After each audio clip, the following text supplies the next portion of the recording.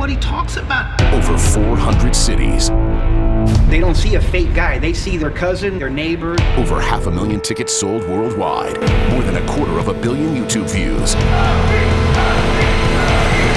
It's about to get real. First time I saw him was at a comedy club. Now he's playing Radio City Music Hall.